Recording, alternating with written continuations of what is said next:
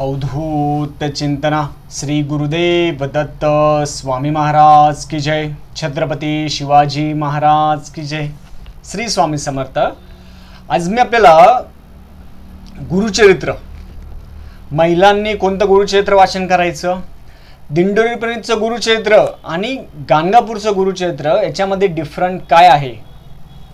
आणि आपण गाणगापूरमध्ये कोणतं गुरुचरित्र वाचायचं? महिलांनीच कोणतं गुरुचरित्र वाचायचं? तर त्याच्या दोघांमध्ये फरक काय आहे? ती माहिती मी आज आपल्याला सांगण्याचा प्रयत्न करतो. पोथी दाखवून. आपण चॅनलवर पहिल्यांदा आला असेल तर अवश्य सबस्क्राईब करा. म्हणजे येणारे नवीन व्हिडिओ श्री स्वामी समर्थ महाराजांची गुरुचरित्राची त्याची माहिती आपल्याला सगळं भेटेल. मन असता पवित्र सदा काळ वाचावे श्री गुरुचरित्र. मन असता पवित्र सदा काळ वाचावे श्री गुरुचरित्र. म्हणून मनामध्ये शंका किंतु परंतु कधीही आणायचं नाही.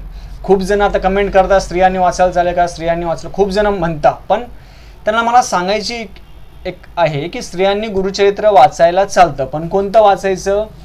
त्यांनी दिंडोरी प्रणितचं. दिंडोरी प्रणितचं जे गुरुचरित्र आहे दिंडोरी प्रणितचं गुरुचरित्र मी फोटो पण टाकेल आपल्याला. दिंडोरी प्रणितचं जे गुरुचरित्र आहे ते स्त्रियांनी वाचायला चालेल. याची साईज आपण बघून घेऊ शकता. दोनशे हे जे आहे दोनशे पस्तीस. याची जी पान आहे शेवटी दोनशे तीस. दोनशे तीस पानाचे आता थोडं मोठं झालं असेल पण दिंडोरी प्रणितचं गुरुक्षेत्र आहे. हे महिलांनी वाचायला चालतं. मी खूप अजून दोन वेळेस तीन वेळेस सांगेल आपल्याला की दिंडोरी प्रणितचं गुरुक्षेत्र महिलांनी वाचायला चालतं. काहीही प्रॉब्लेम नाही. कारण की भरपूर जण कमेंटमध्ये सांगतं की महिलांनी गुरुक्षेत्र वाचायचं की नाही. त्याच्यासाठी दिंडोरी पंडितचं गुरुक्षेत्र आहे ते महिलांनी वाचायला चालतं. आता का बरं चालतं? त्याचा आन्सर मी आपल्याला सांगतो. हे मोठं गुरुक्षेत्र आहे. साईज बघू शकता? साईजमध्ये बघितल्यावर आपल्याला समजून जाईल. हे याचे पानं. आपण पानं जर बघितलं त्याचे शेवट जे अध्याय आहे तो आहे पाचशे पाचशे त्रेपन्न. अवतारनिका शेवटची. पाचशे त्रेपन्न. पाचशे त्रेपन्न आहे. आणि हे एवढं मोठं गुरुक्षेत्र आहे. हे ओरिजिनल गुरुक्षेत्र आहे. हे कोणत्या पण प्रकाशनाचं आपण घेऊ शकता. असं मी कधीच सांगणार नाही की तुम्ही ह्या प्रकाशनाचं घ्या किंवा त्या प्रकाशनाचं घ्या. मला तसा काही संबंध नाही आहे कोणत्या पण प्रकाशनाचं घ्या पण हे मोठं गुरुचरित्र आहे. साईजमध्ये समजलं असेल आपल्याला? हे जे साईज आहे साईजनुसार आपल्याला काही समजून जाते कोणतं गुरुचरित्र वाचायला पाहिजे. स्त्रियांनी छोटं वाचायचं दिंडोरीपर्यंतचं गुरुक्षेत्र छोटं. पुरुषांनी हे गुरुक्षेत्र वाचायला पाहिजे. ओरिजिनल ज्याला सगळे नियम जे पाळून करता पूर्ण नियम पाळता आपण गुरुक्षेत्रामध्ये सात दिवसामध्ये ब्रह्मचार्याचं पालन करणार. गुरुचरित्र वाचन करताना कोणाशी बोलणार नाही. बाहेरचं काही खाणार नाही. सात दिवस सगळे नियम पाळता. नियम म्हणजे काय हो? नियम नियम जास्त काय? काय बहु करायचा नियमाचा? आपण गुरुचं चरित्र वाचन करतो आणि नियमाकडे जास्त लक्ष देतो. ती पोथी असती बाजूला ते स्वामी असता बाजूला आपलं मन असतं बाजूला आणि नियमच एवढे असतात.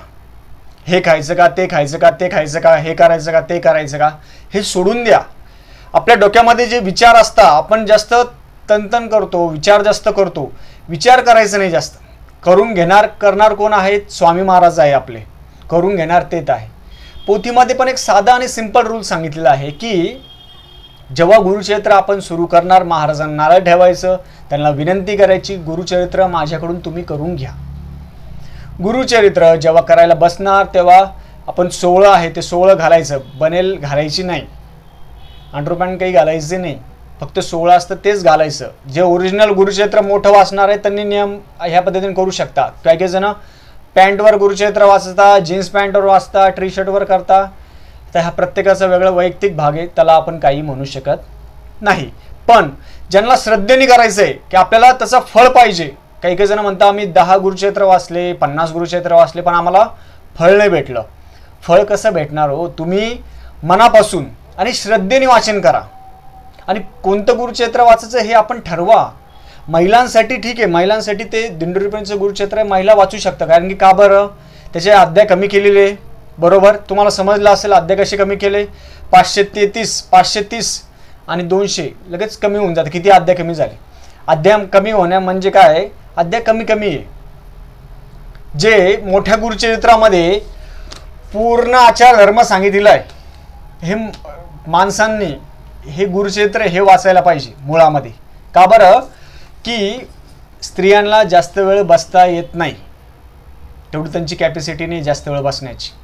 त्याच्यासाठी त्यांना दंडरूपेचं गुरुक्षेत्र केलेलं आहे. पण पुरुषांनी हे मोठं गुरुक्षेत्र वाचायला पाहिजे. मी स्वतः जेव्हा जोपर्यंत मला कळत नव्हतं तोपर्यंत मी दिंडोरीपर्यंतचं गुरुक्षेत्र वाचत होतो. आणि त्याच्यामध्येच आपण घेण्याचा प्रयत्न करत होतो. पण दत्त महाराजांच्या इच्छेनुसार भरपूर जणांनी सांगितलं की तुम्ही दादा मोठं गुरुचरित्र वाचून पहा. मोठं म्हणजे काय? मोठं गुरुक्षेत्र आहे ते. दिंडोरीपर्यंतचं नाही. मोठं प्रकाशनाचं कोणत्याही प्रकाशनाचं घ्या. प्रकाशनाचा ना आपला काहीही संबंध नाही. कोणत्याही प्रकाशनाचं घ्या. त्यात पूर्ण गुरुक्षेत्र पाहिजे.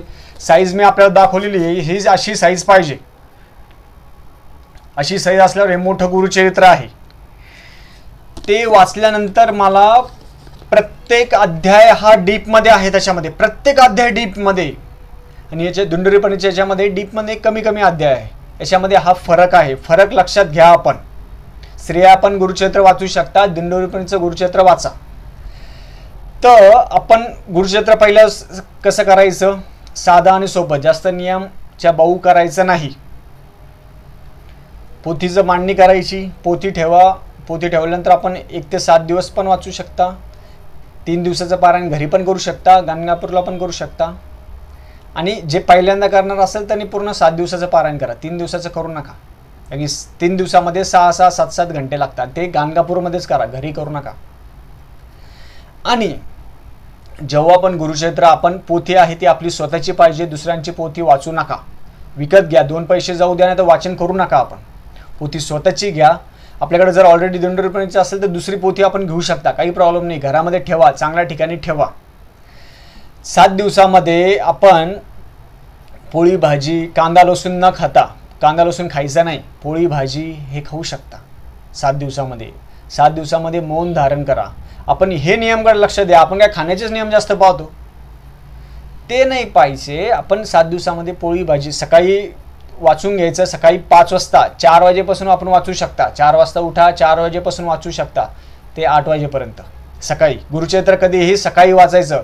दुपारी गुरुचरित्र वाचायचं नाही. गाणगापूरला हा तो नियम वेगळा आहे. गाणगापूरमध्ये आपण वाचू शकता पण घरी दिवस उजाच्या आत चार वाजता पाच वाजता आपण वाचू शकता. काहीही प्रॉब्लेम नाही. आणि जेव्हा वाचन करणार वाचन झाल्यानंतर आरती आरती करायची नैवेद्य दाखवायचा नंतर आपल्या ऑफिस असेल ते करू शकता. बाहेरचं पाणी प्यायचं नाही घरचं पाणी प्यायचं बाहेर काही खायचं नाही. घरी वाचन झाल्यावर आपण दशमी दुधाची दशमी म्हणतात त्याला. दुधाची दशमी म्हणजे काय?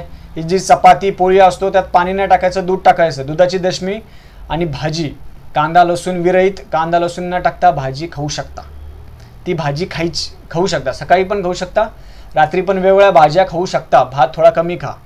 आणि गुरुचरित्र वाचायच्या अगोदर आता आपल्याला माहिती आहे गुरुचरित्र कधी वाचणार आहे? समजा एक महिन्याने वाचणारे पंधरा दिवसानंतर वाचणारे त्याच्या अगोदरच आपला आहार कमी करायचा. आहारावर कंट्रोल करायचं. कमी खाणं कमी बोलणं कमी विचार करणं.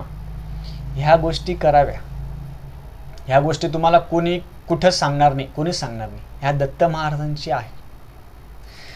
आणि आपण जेव्हा गुरुचरित्र वाचन करतो तेव्हा मौन धारण करा. तेव्हा मोबाईलपासून व्यसनांपासून थोडं लांब राहा. सात दिवसामध्ये कोणाशी वाईट बोलू नका काही करू नका. दोन वेळेस आरती करा सकाळ संध्याकाळ. आणि सात दिवस वाचन झाल्यानंतर नैवेद्य आरती करायची सवासणीला ब्राह्मण सवासणी एकदा जीव घालायचं. आणि जीव घातल्यानंतर आपण ब्राह्मण ते जर नाही आले आपल्याकडे तर ब्राह्मणाला कोरडा शिदा आहे तो शिदा दक्षिणा ब्राह्मणाला देऊन टाका. म्हणजे आपलं सगळं झालेलं पारायण आहे ते पूर्ण होतं. गुरुचैत्रामध्ये पण वर्णन आहे तसं. आपण म्हणत आपण मी सांगतो तसं नाही.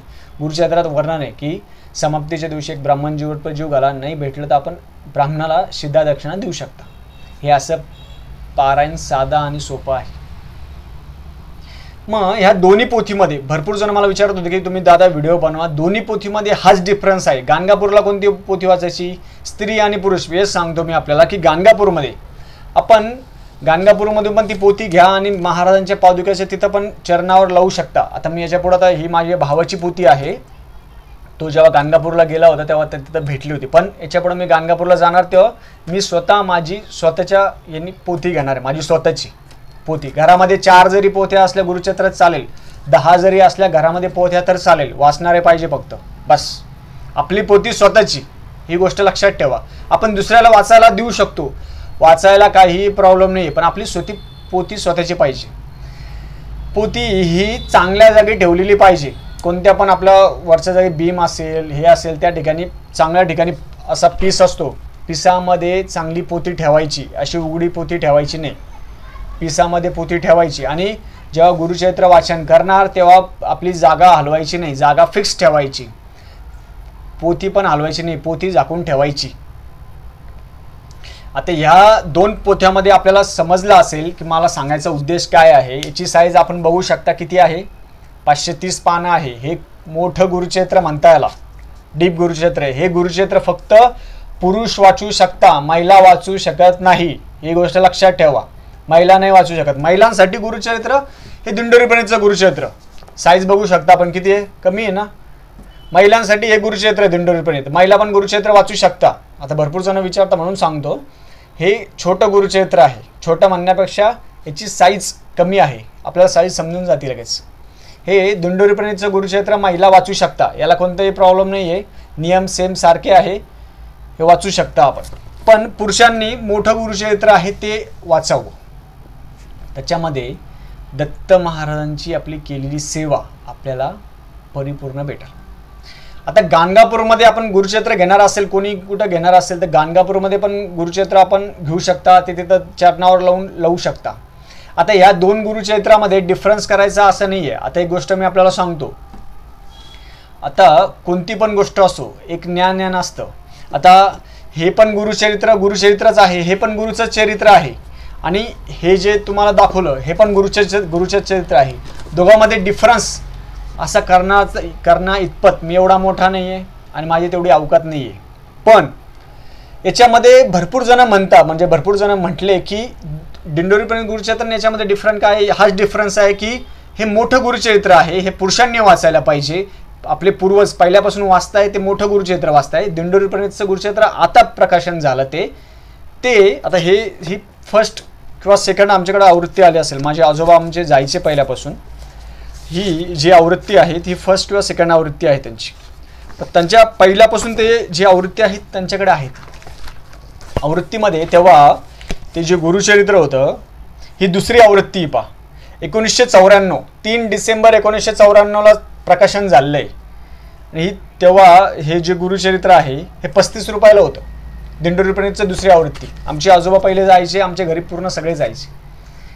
ह्या गोष्टी आहे. म्हणून ह्या दोन्हीमध्ये डिफरन्स करायचा माझे एवढे अवकात नाही आहे आणि मला तेवढी अक्कल पण नाही आहे बी फ्रँक पण दोघांमध्ये फरक मी आपल्याला सांगतो. महिलांनी दिंडोरीपर्यंतचं गुरुचरित्र वाचा पुरुषांनी मोठं गुरुचरित्र वाचा. गुरुचरित्र गुरुचरित्र असतं. आपण म्हणतो ना जेवण जेवण जेवण सारखं असतं. म्हणून गुरूंबद्दल आपण मनामध्ये डिफरंट असं काही डोक्यात ठेवू नका की कोणतं वाचायचं. पण तुमच्यामध्ये क्लिअर झालं असेल की पुरुषांनी मोठं गुरुचरित्र वाचा. हे जे आहे मोठं गुरुचरित्र आहे ते मोठं गुरुचरित्र वाचावं आणि स्त्रियांनी ते वाचावं. गाणगापूरमध्ये आम्ही तीन दिवसाचं पारायण केलं ना तीन दिवसाचं तर हे गुरुचरित्र वाचलं होतं मोठं. त्याच्यामध्ये पहिल्या दिवशी एक ते बावीस अध्याय दुसऱ्या दिवशी तेहतीस अध्याय आणि तिसऱ्या दिवशी त्रेपन्न अध्याय. असे बावीस तेहतीस त्रेपन्न याप्रमाणे. सहा सहा सात तास लागतं वाचायला. सात तास. मोठं गुरुक्षेत्र आहे. छोटं नाही. छोटं वाचलं छोट्याला वेळ लगेच संपून जातं. वाचन करताना कधीही मोठ्याने गुरुक्षेत्र वाच वाचायचं. मोठ्याने. मनातल्या मनात गुरुक्षेत्र वाचायचं नाही. नुसते बोटं फिरवायचे नाही. काही काही जण नुसते असे बोटं फिरवता. एक जण माईकून बोलत असतो आणि आपण नुसतं बोटं फिरवत असतो. असे बोटं फिरवणारे कधीही वाचन करू नका. कधीही वाचन करू नका तुम्ही. काही आवश्यकता नाही तुमची वाचणे स्वतः वाचा ना. आपल्याला देवाने जीभ दिली. आपल्याला डोळे दिले आपल्याला कान दिलं नाक दिलं बुद्धिमत्ता दिली. त्याचा वापर करा. एवढं मी तळतळीने तळमळी का बरं सांगतोय आपल्याला? की त्याचा वापर करा आपण. एक जण वाचतंय ते माईकवर वाचतंय वाचू द्या त्यांना पण तुम्ही तुमचं पण वाचा ना. तुम्हाला जीभ दिली. काही काही जण नुसते बोटं फिरवता. तसं अजिबात करू नका. गुरुचरित्र हे परन पावन ग्रंथ आहे. जो गुरुचरित्र वाचन करेल त्याच्या सर्व बाधाने सर्व त्यांचे कामं होत असतात. गुरुचरित्रामध्ये एक ओळ आहे ते पण मी आपल्याला सांगतो. गुरुचरित्रामध्ये जी एक ओळ आहे ती ओळ जर आपण केली तीच गोष्ट लक्षात ठेवा. मी स्क्रीनवर पण टाकेल आपल्याला. गुरुचरित्रामध्ये एक शेवटची एक ओळ आहे. ती ओळ मी आपल्याला वाचून दाखवतो. आपले डोळे उघडतील म्हणजे उघडतील. आता माझ्या अंगावर काटा येतोय. अंतकरण असता पवित्र सदाकाळ वाचावे श्री गुरुचरित्र. शक्य होय यह पत्र शक्य शक्य होय यह पत्र दुसऱ्या प्रकार सांगेना. सप्ताह वाचायची पद्धती तुझं सांगो यथास्थिती सूचीवृत्ती होनी शास्त्रादिती सप्ताहकरिता पुण्य बहुत. आता याचा अर्थ असा आहे पवित्र अंतकरणाने गुरुचरित्राचा सप्ताह केला तर केवळ शक्य प्राप्त होते. मनातील सर्व शुभ इच्छा पूर्ण होतात. संपूर्ण सप्ताहामध्ये मौन ठेवून एकाच जागेवर बसून ब्रह्मचार्य व्रताचे पालन करून पूर्व दिशेला तोंड करून हा ग्रंथ वाचावा. पवित्र जपून श्रद्धेने पारायण केले तर सर्वात मोठा फायदा काय होतो? फायदा खूप मोठा होतो. तर मन शांत होते प्रसन्न होते समाधान पावते. आणि गुरुचैत्राच्या शेवटी म्हटले आहे की ऐसा सप्ताह अनुष्ठान करिता होय श्री गुरुदर्शन. भूतप्रेत बाधा निरसन होणे शक्य होत असे याचा अर्थ असा आहे गुरुचरित्र हे गुरुचरित्र हा एक सिद्ध ग्रंथ आहे. हे लक्षात ठेवून पवित्राचं संवर्धन करिता ग्रंथाचे पारायण करण्यात मानवी आयुष्याचे सुखद फलश्रुती अनुभवता येते. हा ग्रंथ प्रतिदिनी श्रद्धेवृत्तीने वाचावा. रोज एक अध्याय गुरुचरित्र आपण वाचू शकता.